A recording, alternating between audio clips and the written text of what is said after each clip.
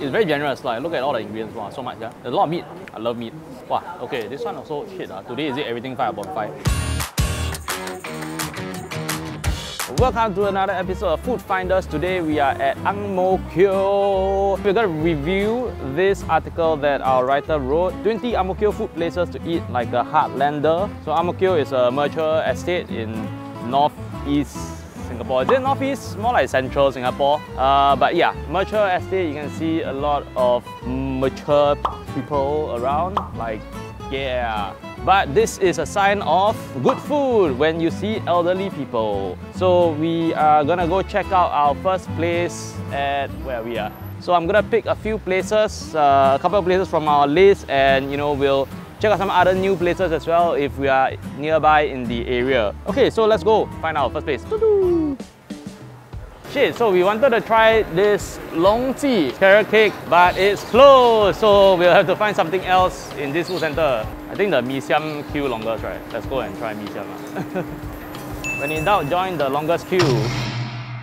Yeah, this one is totally random. Uh, we have no idea whether this is good or not. Apparently it's uh, 4.2 stars on Google, according to Ms. Tam Jia, offers cheap and affordable bowls.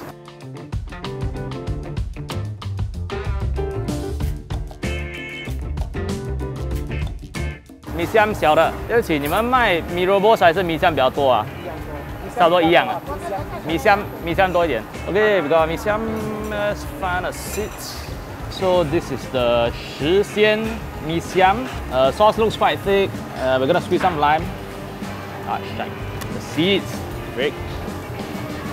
Biatch. So very cutely, they cut the eggs into cross sections. Just gonna mix up everything. So it's a typical uh, bee hoon with sauce. lah. It is really, really good. Very hearty. Slight sweetness, slight sourness, and taste crispy.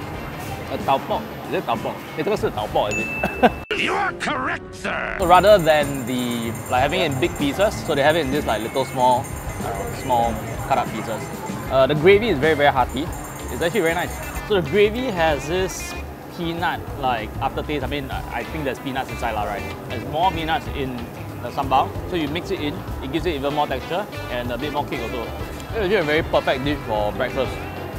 It's three dollars, very affordable. It's not like a very heavy meal. I, I will give this a. Wow, let me think. I'll give it a 5 on 5 actually. So yeah, do check out Shixian and Longji if it's ever open. But anyway, I think this food center has like a few things to try. You can try this mee siam as well. Yeah, maybe try the mee balls next time. But yeah, this is definitely worth a try. Let's move on to the next spot in Ang Mo Kio. And the good thing about Ang Mo Kio is like a lot of places are quite walkable. We're gonna like walk around. Teleport animation.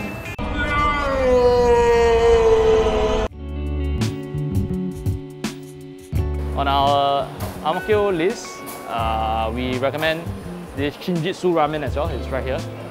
真实 ramen. But I noticed that Shinjitsu ramen has a branch at Toa Payoh, so I'm not super keen to try it. But I'm actually more interested in this zhao jian zhao. Shit, how do I pronounce it? jian zhao Ipoh curry noodle. So it's quite uncommon that you find Ipoh curry noodle. So I think uh, let's give it a try. And uh, we have a Malaysian with us. You can try it. Let us know whether this is authentic. Father and son hawker sell Ipoh curry noodle. 你们是马来西亚人吗？还是马来西亚人。啊？哦，你们从怡保来的啊、其实这个我们是刚巧经过，本来是要 try 这个拉面的。哦，看你们的咖喱 noodle 好像蛮呃蛮特色的，来 try 一下了。哦，谢谢谢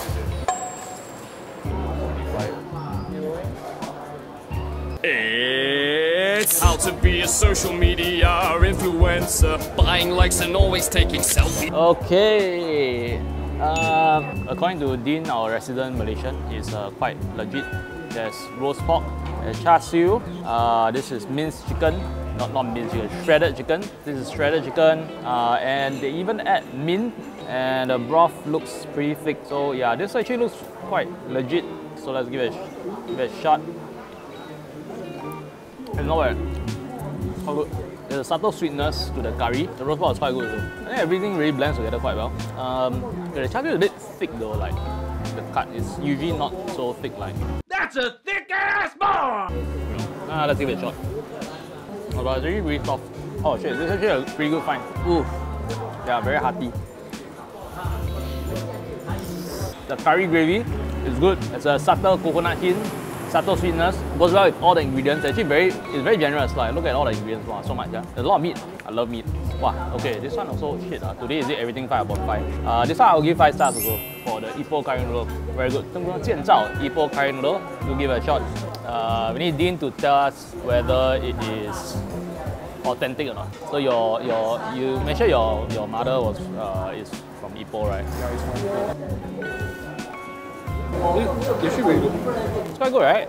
I would say like 95% close to 95% close, ah. yeah, that's quite good. Right? they cater to the, the locals Uh, the taste bud here. while the Malaysian one is what, spicier or what? Yeah, so they actually Is it a bit spicier? Oh, so the spiciness is a bit lesser. Okay, they're good. I think this level of spiciness is like just nice for me because of weak. Moving on to the next spot. Transition. Quite near. Uh, okay, we gotta eat mutton. We gotta try mutton soup. Ang Mo Kio literally means uh, in Hokkien it's a red red skin bridge. Eh no, sorry, red red fur, red hair, red hair. I think it's either it might be referencing some bridge that was here, or it's referencing the the rambutan. There was a lot of rambutan in this area. I think. Uh, what is silver zone? Something like that. Enhancing road safety for seniors. You see, that's like wow. Here. Oh, yeah, yeah, yeah, yeah, yeah, yeah. There.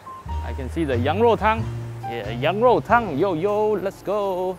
So we are now at this Lau Wu Ji Yang Rou Tang. If I'm not wrong, this is actually recommended by uh, Michelin. So yeah, I don't know. I think mutton is like a not everyone likes it, not everyone loves it, but I don't mind it. So let's let's go and try it out. Uh, Yang Rou Tang 一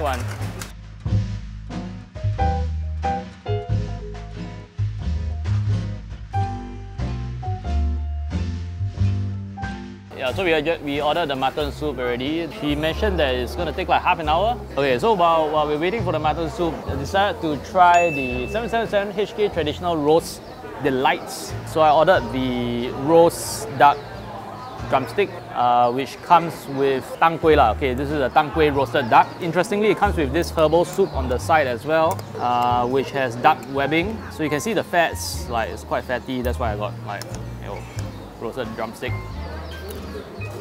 The first thing that hits you is really the the tang kueh, which is like uh, it's angelica root. Not wrong. Let me let me just Google this to be sure. Tang kueh, tang kueh is like some kind of ginseng lah, right? And it's also known as the angelica something something angelica root lah. Yeah. Anyway, Angelica sinensis. Wow. Okay, I find it a bit too bitter though. It's not a very good balance. Uh, but the meat is the meat is really good. The soup is really good though. Like you can taste like the the cordyceps uh, and the herbal herbalness of it. It's also quite unique lah, right? Like normally soup like they just give you some MSG soup, but here they actually give you like this herbal soup mix. Yeah. So yeah, overall I think this is not bad. I give it a 4.5. Four stars. Bing bing bing. Okay, now back to waiting for Yang Rou Tang. I think it's been 20 plus minutes lah, probably. Eventually. Okay, so I just got my mutton soup from Lau Wu Now we're gonna try the mutton soup. Looks very promising. You can smell the butteriness and the uh, the fats that has like dissolved from the mutton. Uh, looks like some kind of rib, like mutton rib. Okay, we're gonna try soup first. Ah. Oh, this is the spot. You can taste a lot of the fat that's really dissolved in the soup. Um, it's very herbal, herbal, You can taste the ginger as well. It, it kind of masks the, the, the mutton, um, what do you call that? Gaminess. Yeah, the gaminess of the mutton. So, but it's still quite distinct lah. If you don't like mutton, you are not gonna like this lah. But I like it. Mm. Mm. So you can see like the bone just falls off from the meat. So I love how tender they've actually made the mutton. It's super tender, super soft. It's very different from like like other places where you get mutton meat that is like what super tough. So this one, wow, they've made it so tender. Uh, it's very flavorful. You get a lot of the fat. I would say it's worth the wait. It's a very unique mutton soup. It's not common that you can find good mutton soup. I'll give it a four stars among five just because like I had to wait like half an hour. It's nice. Oh, actually, if you you have the chili and then you drink the soup, it's like damn good. So like after you eat the chili, right, the soup it, it tastes even less gamey. So you don't get like a lot of the heavy gaminess from the mutton after you pair it with the chili. So it's actually very interesting. Okay, lah, 4.5 stars, maybe. I don't know. Just minus half a point, half a star for the wait time. Alright. So let's move on to the next spot. The Rasa Sayang. There's a lot of good food in Ang. Wow, so it's, it's very hard to like try everything. Actually, so far all the food we've been trying is all like very soup based. Ah, freaking hate like cyclists the road. I feel like they should set up bike lanes.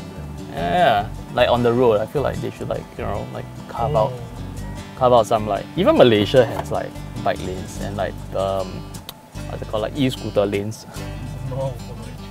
We're now at this ST31 coffee shop. Shit, actually this Dahua pork noodle looks really good also. Uh, but we are here to try specifically the Rasa Sayang Western food. Chicken chop, uh, okay, so we're here at this ST31 coffee house. I think another notable thing you could try is actually the Da Hua uh, Bak Chor Mee, which is right beside Rasa Sayang. But today we're here to try Western food because I think so far I've been having like a lot of noodles and actually we haven't really been following the the Ang Mo Kio food guide because like you know we keep going to a place and then we see something else and then we try that instead.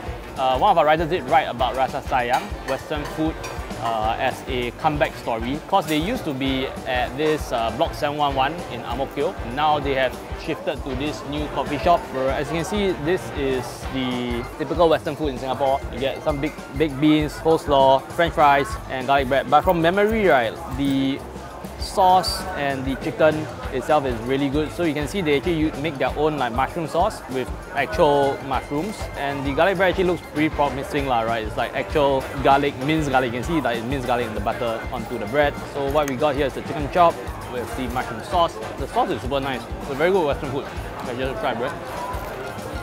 Oh, very crispy, toasty. You can taste a lot of the garlic and the chicken.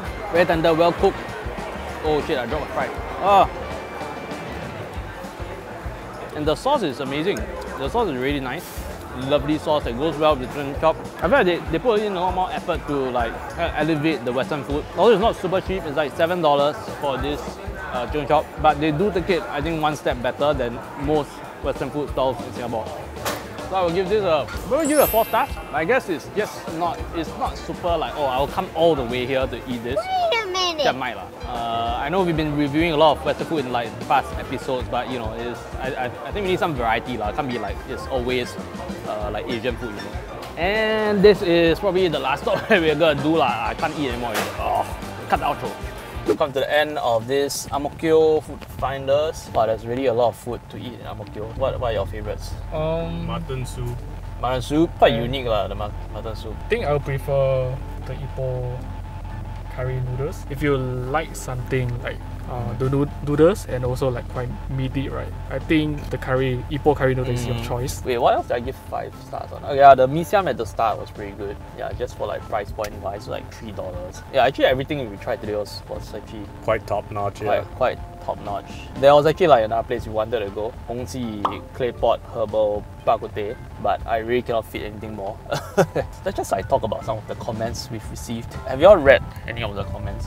Um, no, I do think like I like the a lot of the comments recommending food because you know that's how we learn more about what's good in Singapore. I think there was one comment that said like, oh, nothing new, you know, you guys just like rehashing stuff. I'm like, hey, it might not be new to you, but it might be new to someone else. There was also one comment saying some of the food places we were talking about were bad. I mean, they were lah, right? They, some, they some were were. they weren't great, which Yeah. was something we. But that's what we say in the video as well. Yeah, like, it wasn't we great. pointed that out in the video. Yeah, just just cause we featured them doesn't mean they're good. like Yeah. we did say that it's like, eh, it's not, it's not great. Some some people tend to also give the comment like, oh, you know, this food sucks, but you guys still like, know, endorse them. Uh, right? They must have paid you.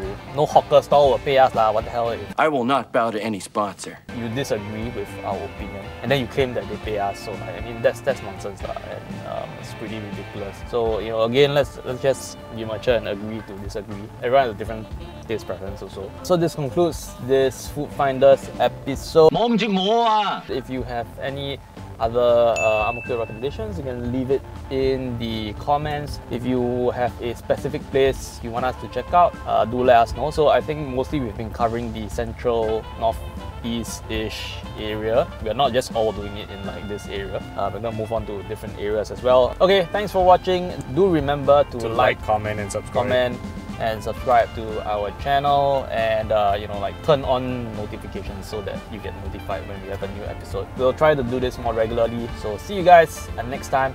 Bye. Bye.